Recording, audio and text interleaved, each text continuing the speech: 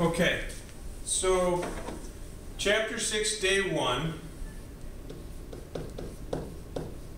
Here's the video. We're going to focus on what is standard deviation and how do we use it as a ruler for measuring data. Now, we watched a video on standard deviation.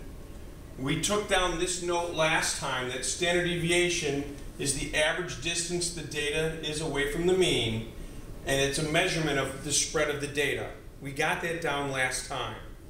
What we're going to talk about more specifically is how do we use it as a ruler. Um, in the video, you saw the definition of a density curve. A density curve is a curve with area 1 under it. So I don't care what kind of shape the curve takes on, the area under that curve has an area of 1. So it might look like a trapezoid. It might look like, I don't know what that is. It might look like a normal curve. But the area under it is 1. And so that's a vocabulary word that occurs to us on multiple choice parts of the test in which they might say which of the following is a density curve, and then you just have to figure out which one has area 1 under it. But a special kind of density curve that we're going to work with, which you worked with in Algebra 2 trig, is called the normal curve. It's a density curve that takes on this very special mound shape, and the area under it is always 1. Now, because normal curves take on that general shape, we have some generalization in terms of how they behave and how much data is within certain regions. And in Algebra 2 trig, you use something that was close to this. And in AP Stats, we call this the 68, 95, 99.7 rule. Some people call it the empirical rule. Um, it's just another name for it. And we saw in the video, what does that mean? It means if this is the mean, I am zero standard deviations away from the mean. All right? As I go up and down one standard deviation, 68% of the data fall between down one and up one, or within one standard deviation is 60% of 68% of the data. General rule of thumb. It doesn't mean it's 100% exact, but if a setting follows a normal curve, in general, that's what it does. 95% of the data should fall within two standard deviations. All right, so 95%, that's a lot of the data. I mean, that's almost everybody. Just you you have 5% left over um, that is not include. And then 99.7, I mean, that's really everyone except for 3 tenths of a percent.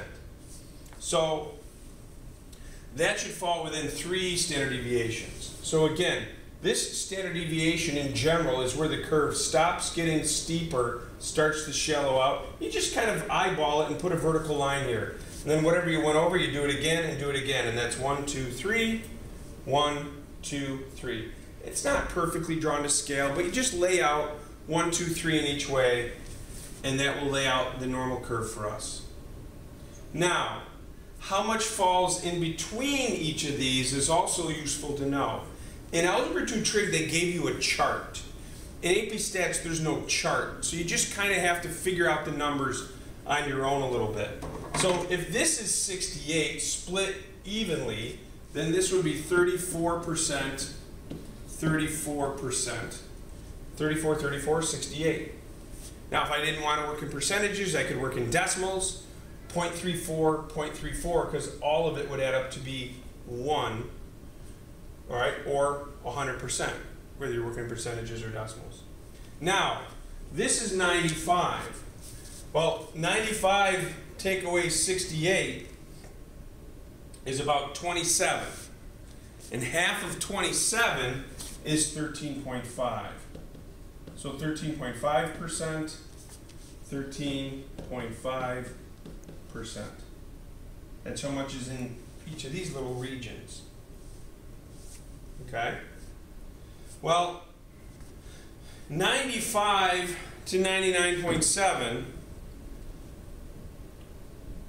there is about two, about 4.7%, 4.7, well, which is about 2.35%, 2.35% in each side. And then anything beyond 99.7 is about 0.15 of a percent each way. Now, the chart that you had in Algebra 2 Trig cut these into half deviations. You don't need to. For a general rule of thumb, we're going to go one, two, three, down one, down two, down three in each direction, and this will work for us. So if I said what percent of the data is above one, you would just add up this percentage. If I said what percent of the data is below one, you could add up all of these percentages. If I said what percent of the data is between negative 2 and 0, you would add up these percentages. So you just use this chart, and they will tell you where the numbers are, and then you have to find the percent that falls within those numbers. That's what you had to do in Algebra 2 trig. So in class, we're going to use our class height data, and we will answer some questions about that. But that's it. Um, that's the empirical rule, or what we call the 68, 95, 99.7 rule for the way data should behave. Okay? Thank you.